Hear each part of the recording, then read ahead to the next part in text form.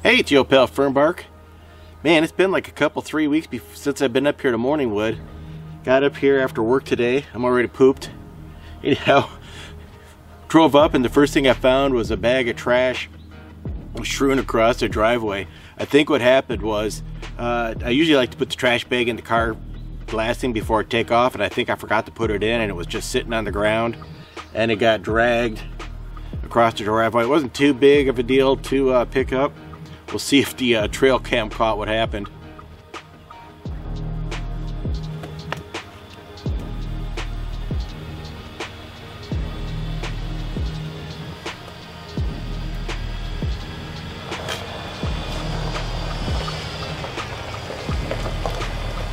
Anonymous Dave.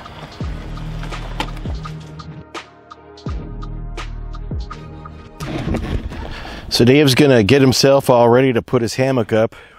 We just got done cutting some firewood. There we go right there. Isn't that exciting? I was gonna film it, but I mean, uh, who wants to watch two old farts chop wood? So everything has kind of gotten a little overgrown in the last three weeks. I got these dandelions everywhere. Look at that junk. So I was getting ready to weed whack these down, and then Dave's telling me about his sister saying, Don't cut these down because bees need them to feed. And then as soon as I decided to get my weed whipper out, there's like half a dozen bees on here. And, you know, I don't want to be a bee dick. Look, here's one right here. Let me see if I can get it without getting stung. Because I'm sure you guys have never seen. Ah, there it is. Look at that guy. Look how happy he is on that dandelion. The foxglove are in full effect up here right now. I'm trying to uh, walk without making too much of a commotion. So they're going mad. I should have filmed up here when I was up here a couple weeks ago when my irises were still um, blooming. God dang, you want to talk about hard to find words. Hold a camera and walk and not trip and talk at the same time. Just saying. Although, as I look at these blackberries, I kind of feel like the bees got lots of opportunities here that they can uh, use. Yeah, I'm going to be eating berries very soon. Super excited about that. I try to get right in here on this guy. I guess I should do it when it's sunny outside. Maybe I'll come back tomorrow and maybe it'll be sunny. Oh, there's a bee right there on the foxglove. More bee. Oh, geez, those are big ones. Holy smokes. I like that one right there, kind of a triple array. Now, the deal with these foxgloves is they are actually an invasive species. They're not native to this area. I can't remember how they were brought in here, and they are poisonous to animals. Uh, but only if they eat them, and so far, I haven't seen any animal die from this. The old wood pile's starting to shrink down a little bit. Oh, not really. I got a giant pile back there. I don't think the camera's going to pick up how much. That's like five feet high stack of wood. I just got to cut it into smaller pieces so, you know, you could burn it.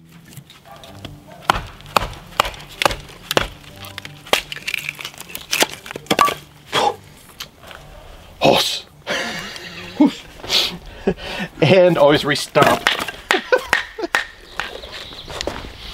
All right, we got our campfire all set up for tonight.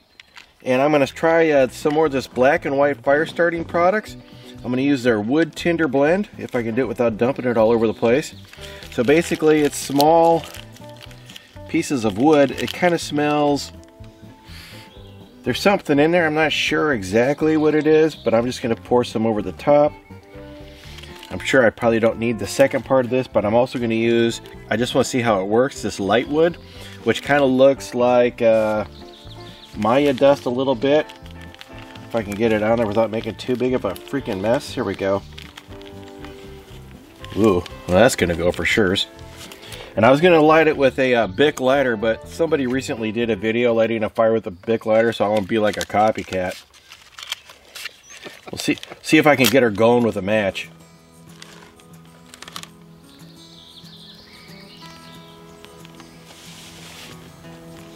Is it gonna go? You can do it. I thought for sure the stuff would just jump. Oh, you know it's going. I don't know if the camera's picking it up, but it's kind of a high.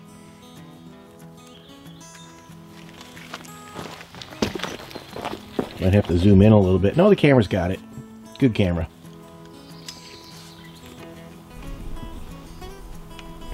Boy, you can smell it burning though. It smells pretty good. So we got our logs, we got our logs around the fire ready to go. I'm just gonna go ahead and set it in there. Hopefully not disturb the whole shooting mess. All right, nothing to do but wait for it. Maybe get a beer.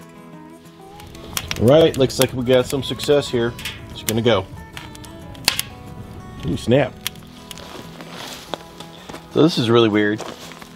These were all open flowers like about an hour ago. The sun went behind the trees and they all closed up. I don't think I've ever seen that before. That's pretty bizarre. Man, look at these coals. They look like they might be perfect for cooking on, but this is actually very near like a forge level amount of heat. So they got to die down just a little bit before we can start cooking on them. I think I'm going to melt my camera.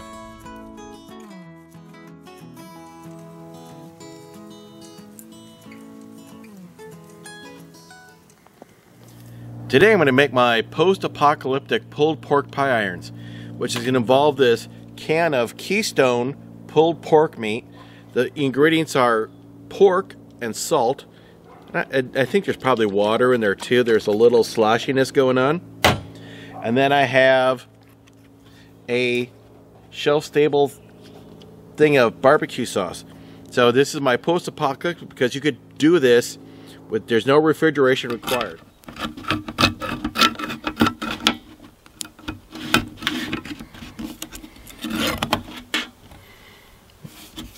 Well, that's not real pretty. Oh, shit. Well, it is pretty cold out here, so the fat is definitely congealed on the uh, pork. It ain't looking super hot. I'll give you that much right now.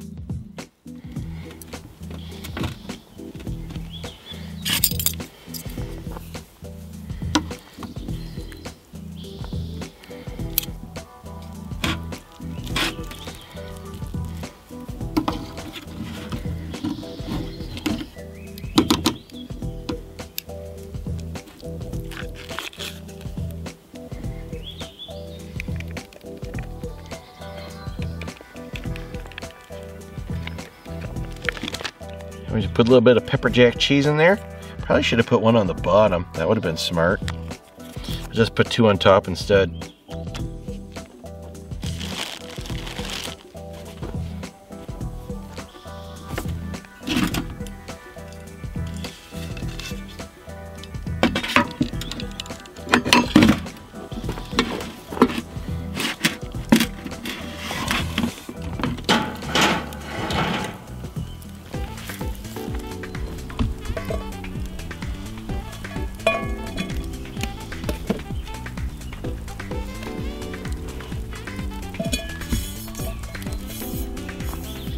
Do something interesting. The internet demands it.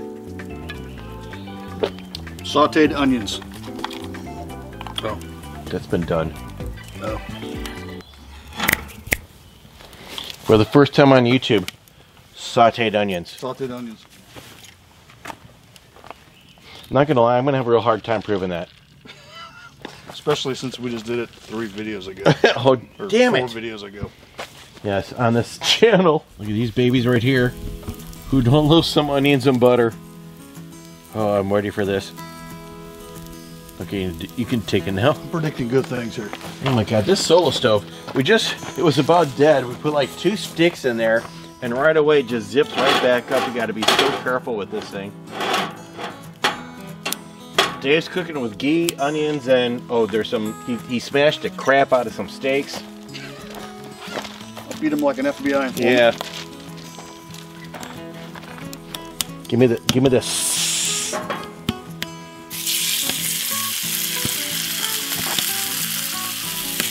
Well, Dave executed the flip without the camera on because he's not a YouTuber. And it smells so freaking good. Holy shit. You should smell it.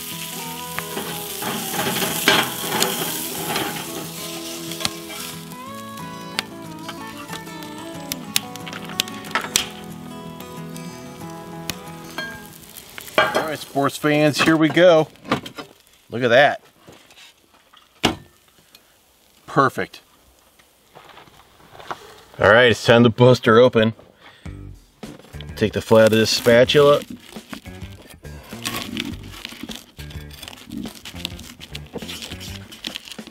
Ooh, she's piping hot. Dang. There we are.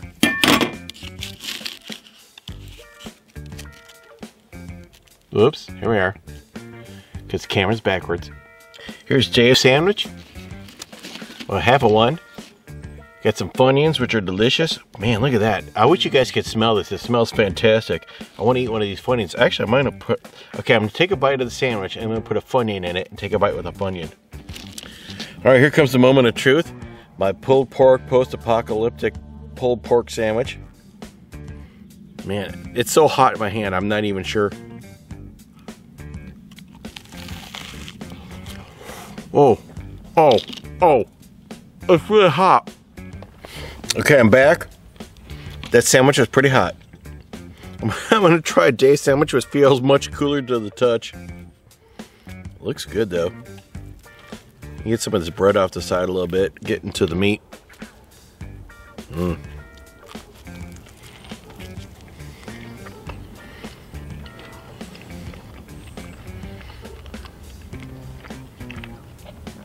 So much chewing.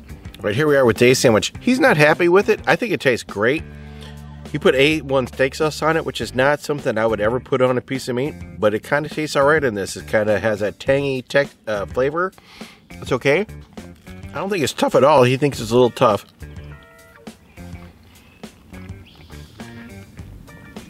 Possibly my jaws are way too fierce being trained with a Meridote. Well, it's been nine hours later. I'm gonna I feel safe. It's I can eat this sandwich. God, it's still hotter than shit though. Oh my gosh. All right. Mmm. Crap. Mm. Double firm breaking. Dave brought utensils made of bamboo, and I brought towels made of paper. All right, this is it. This is the time I'm going to eat this sandwich, and it's going to be delicious. Well, it was delicious the first few times, except for scalding my mouth. Mmm. You want this badly. I know you do. What do you think, stud? Very good. Still warm. That's hotter than shit. Okay, here we go. Part two of our pie iron adventure. Now, despite the fact that I had just opened up my new Havarti cheese packet, Dave decided that we should have pie iron apple pie. So I have this packet of, oh, what is this stuff? Caramels, words, and an apple, and bread and a pie iron.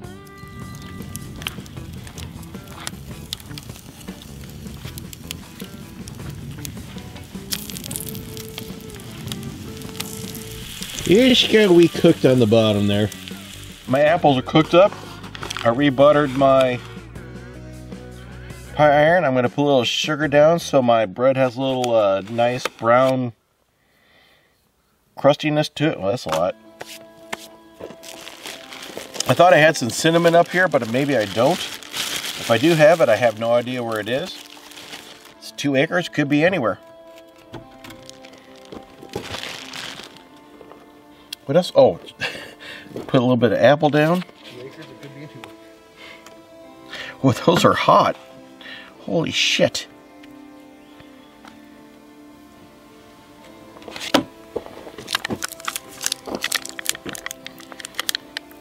My hands are buttery. I'm trying to open this up. No, I, I think I got her. All right, so I'm gonna use this beautiful nature friendly bamboo knife. Do you think we need two things? Uh, no, that's gonna be enough. God dang, it don't want to come out of this cup, I tell you that much. Whoops.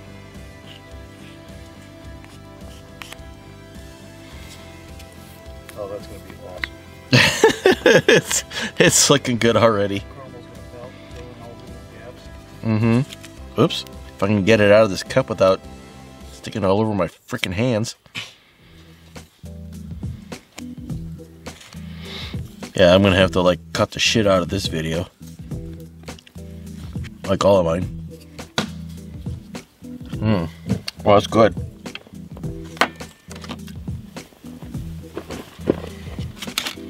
We're gonna throw some more apples on top.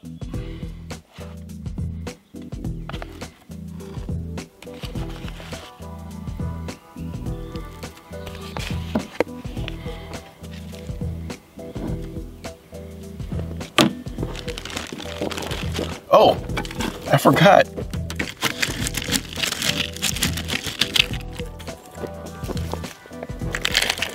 We'll put a little crunch in the middle. I wonder if that's gonna work out. I'm kind of having second thoughts about it. I'm it's in there now, boys. Carl, you're not getting it out. No. All right. There you are. Oh, my hands are so sticky. I don't even know if the camera's on. Oh, the caramel's coming out the side. Rutro. Where's my nature friendly freaking utensil? I do not want. Oh man, disaster is happening. All right, sports fans, here we are. What we're looking at is sugar, butter, caramel, and sugar Apples. and apples. Yes. And that is it. I wish you guys could smell this. It is absolutely fantastic.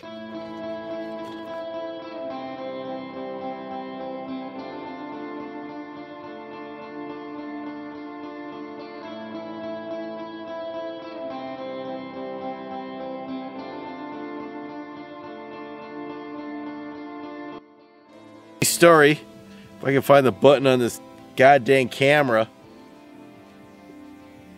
How's it going? All right. So we I was sticking to. Look at this. Oh my god. It is stuck to the plate. So yeah. So we so we have let it cool down, and uh, it's really cool now. Let's go ahead and cut her in half. No, absolutely no danger of burning our mouths at this point. What is it's like pitch black and shit out. So here, you wanna here. Cheers. Cheers. Oh, that's really fantastic. It's delicious. Oh my god. Oh, wow. That caramel. Mmm. Mmm. The sugar on the outside. Holy shit. Oh, the nuts. Did you get the nuts? Not yet. Oh, Funny so thing to just randomly yell out I love the nuts in my mouth. like that. That was I'll random. never a phrase I will never utter again. Because I'm no longer the Morningwood Channel. Because that's a nasty that one. name. Oh, It blends in really well with the apple. it is. It's fantastic. Mmm. All right, we could not help ourselves. We had to have another pie. Side A. There we go. Side B. Still flopped out. Side A. Side B. I'm gonna let that cool for a bit because uh, I'm tired of burning my mouth tonight. So Dave bushcrafted us a couple donuts. That's good. So to recap last night, caramel apple pie, fantastic. Be doing that again, maybe today. Absolutely. in an hour. Got the Kelly kettle working this morning. That baby fires up in a jiff. How long did it take you to get to a boil? In the amount of time that you were gone. So in the, in the amount of time it takes you to poop, this will go to a boil.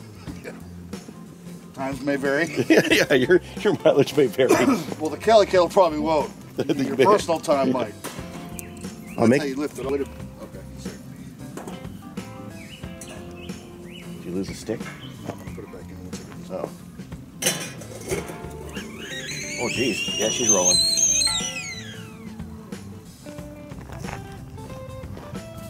Well, it's about 8 o'clock in the morning. I've already had a couple cups.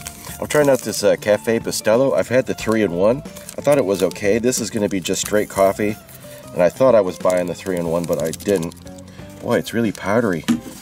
Anyhow, I got that, and I got my uh, sweetened condensed milk, so we're kind of 3 in 1 in it, anyways.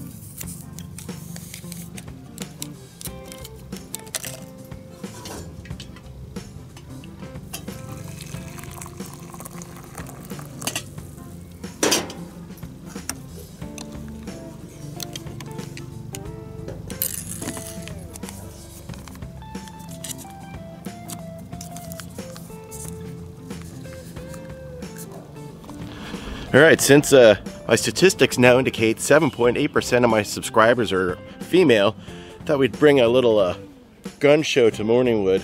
Unfortunately, we're only featuring small arms today. Renogy sent me this PWM charge controller to try out, which is pretty nice. It's waterproof, which allows me to mount outside my uh, uh, little generator box right here. I call this the Apocalypse box. And here's my uh, PV uh, photovoltaic cutoff switch right here so I can secure power to the charge controller. And then inside the box, I have uh, two sets of batteries. So this is one 12 volt battery and these two connected together another 12 volt battery. And I have a, uh, I can isolate either battery bank and then also isolate it from the charge controller. And I got a little circuit breaker over there. Well, I'm used to using an MPP charge controller, and uh, I forgot that the PWMs don't uh, let you use high voltage like the MPPTs do, high voltage being relative. So uh, I had these all hooked together in series, uh, but they're putting like 80 volts and like 4 amps. But uh, that's too much voltage. That little charge controller can only take 24 volts. Or is it 23.4? Either way, it was way too much. So what I had to do is I picked up these uh, combiner cables so I can hook my panels together in parallel instead of series, and I'm gonna have more amps and less volts.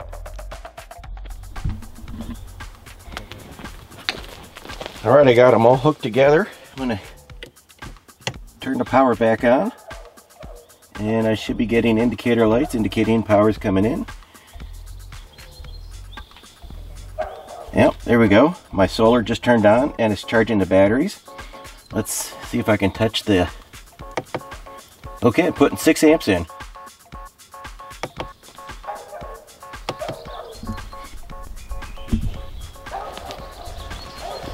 Well, what we got here is my watering system. That's kind of a, a handyman special hookup here.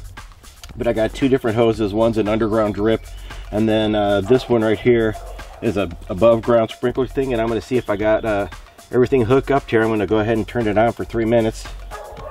Oh, wait a minute. Got to go back to reset. And we'll see. So far, nothing. Shit. Oh, is it open? Yeah, it's open. Why don't you want to...